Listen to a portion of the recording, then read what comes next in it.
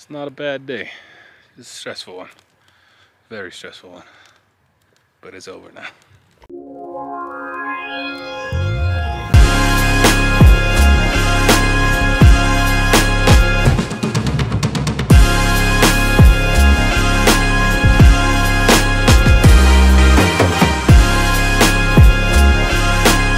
Good morning, good morning. Today we are heading out of Zapata Falls campground and we are heading to some other waterfalls. Uh, hopefully we can park right next to it. It's a BLM land dispersed camping area that uh, my buddy has recommended. As you can see, a little snow up there. Great view. I don't know if I would recommend this spot for travel trailers. I'm kind of nervous about the drive down. We are at a four to seven degree decline on a gravel, loose gravel road. So yeah, anyways, if I make it to the bottom, I recommend it. there is a hike to a waterfall here and then a four mile hike to a lake in the mountains. I'm not doing that. I got a two year old and a six year old and a pregnant wife. so none of that sounds appealing. Packed up and loaded up everything last night so we could head out early. We didn't have breakfast. I've deflated my tires even more just to get more traction going downhill. So we need to find a dump to dump and then we need to fill up with gas and water. So I'll check in with you, hopefully, at an epic campground. Alrighty guys, made it down the mountain, no problem at all. Uh, I was more paranoid than anything. I kept it below 10 miles an hour. Now we're just having breakfast. We filled up with gas. We have a 130 mile drive to the next destination, but it's like four hours because uh, it's through mountains. So I'm just filling up. I filled up these to 50 psi and again 65. It does take pretty quick for those little tires. These big ones right here take some time. It's at uh, 58 psi where they were down to 38. So anyways, a minute of psi. Let's get the show on the road.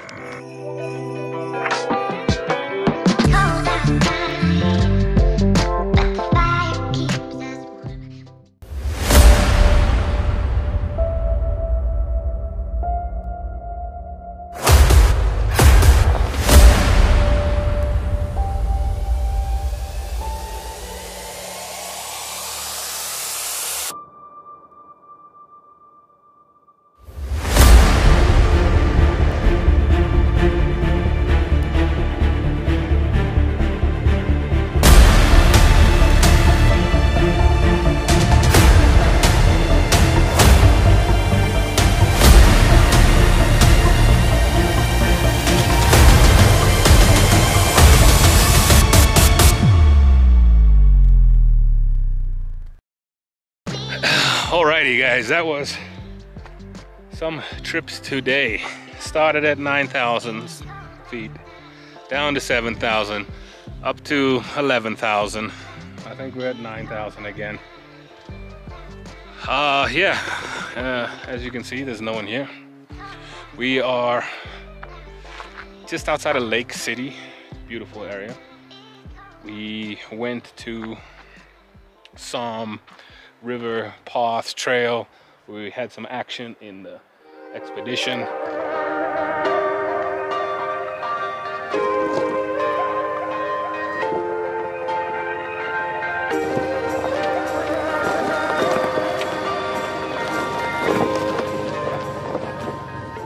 Buddy of mine sent me some coordinates about a waterfall but I'm only working off some coordinates. I think it's a bit down. Here's a nice stream. No waterfall here. And look at this. Oh my goodness. We ain't in Chicago anymore. A little bit too rugged to bring the kids down here. Maybe we can bring him here to see the river.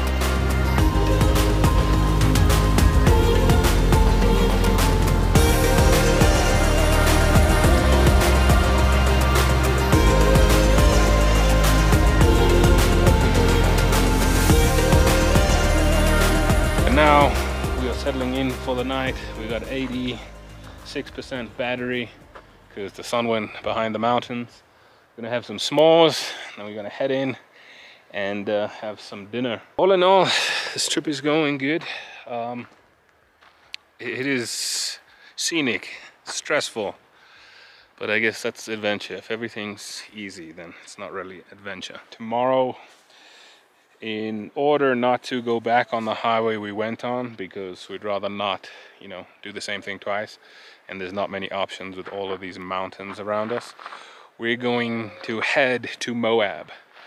So we'll head to Moab, then up to the Salt Flats, then to Zion, then to Grand Canyon, then Sedona, then maybe back to Colorado to Mesa Verde. Still a lot so be sure you stick around. So what do you guys think about that scenery? Now, as you can tell, there was no one at this campsite. Uh, as you can also tell, there's no hookup. So that's why it's very important to have a solar system and some batteries.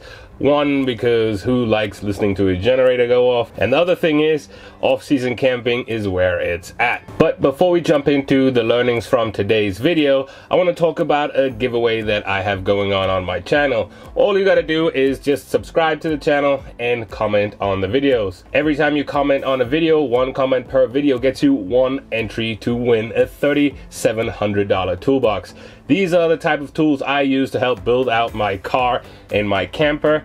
So be sure you check that out. Also, if you want more entries, there's a link down below where you can purchase some merch and that gives you three entries per dollar spent. Now, onto the learnings from today. In the beginning of the video, I mentioned I needed to find a dump station and water. And one of the apps I use to find those is called RV Dump. So I'll leave a link down below for that, as well as the other three apps I mentioned in the previous episode, the Dyrt, Campendium, and Allstay. They all have a filter option that you can select if they have water or a dump station. So check out those apps, download RV Dump because you're gonna need a place to go to let's say freshen up your camper. Next up on the list, I'll be addressing this throughout the series is how do I find locations I find? Well, how I found this location was I met a buddy on Instagram. Basically, I have a bunch of different friends on Instagram through all this experience of off-roading and we have similar interests. Every now and then I uh, befriend a couple of them because we talk about different car builds or camper builds and so on. And then I see the different adventures they go on and sometimes they share the location, sometimes I share my my locations, so that's one way to do it. As far as the Mill Creek campground, I didn't know about that campground. I was actually just going to where this waterfall was that my buddy was sending me. Unfortunately, the camper couldn't make it all the way there and this was on the way to the actual waterfall location, the BLM land where I could camp without uh, paying for anything. But since the camper couldn't make it there, I left the camper about five miles away at Mill Creek Campground unhooked, and that's why we took the expedition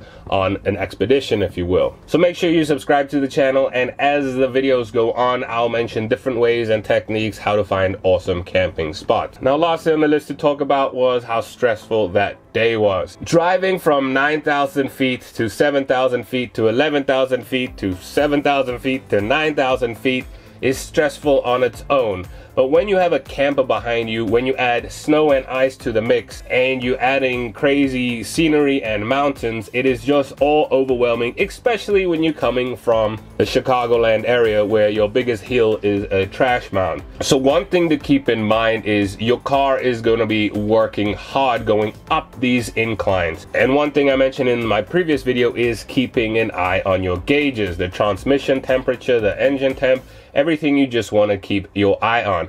But the real stressful part was downhill for both of the circumstances. So downhill at the beginning of the video was a 47 degree incline on a loose gravel road that also had construction on it so it was pretty narrow. So that was pretty stressful going down there. It turned out to be fine as long as you keep your speed down. Now, the climb from 7,000 to 11,000 back to 7,000 by uh, the Mill Creek campground, that was, uh, let's say, more mm, overwhelming. The climb up was just very steep uh, and no one around. Guys, this is off-season camping in the middle of the week. There's no one around. So when we get to the top of the mountain, the roads were all in the sun, which is fine because as you know, Colorado, Utah area, the snow melts relatively quickly because of the sun. Different scenario in Chicago. On the downside, the decline of the mountain, it was all in the shade. And previously, maybe a day or two before, it did have a little dusting of snow or some uh, snow was blowing onto the road, which was now ice and that was the scarier part. I did go down the mountain at a very slow speed. Granted, there was no one on the road, so that was fine, but it was about a 10 mile decline. Now, I stopped halfway down the mountain just to let things cool down because when you are towing, engine braking works up to a point, but engine braking needs to be combined with using your brakes. But there's a point when your brakes will get too hot, both on your camper and on your car, just because you are going down a mountain for an extended period of time. So what I like to do is we went slow. I used the combination of engine braking and braking and then when we got to a nice pull off area, I did pull off the side of the road, take some pictures, have a little snack, and let everything cool down. Once I felt everything cool down, back again, slow descent down the mountain. One thing you always have to keep in mind when you are towing a camper is it is more strain and stress, not only on your car, but mentally making sure you are in the right mind to handle a situation if something does happen. Now guys, I make sure my cars are fully serviced every time before I go. I do check my brakes on both the camper and the car before this trip and everything checked out just fine. But yes, I am new when it comes to mountain travel, so I think it's just all overwhelming as well as it was only a 130 mile drive, but it took four to six hours, I think. So that does put a toll on the kids as well. Now we've got kids that are, you know, a little bit antsy and I really wanted to get to that location. So that's all I really have about stress. Just take your time, make sure you don't overwork your car and your brakes. Stop if you have to. The worst case that happens is you get overwhelmed and you lose control of the situation.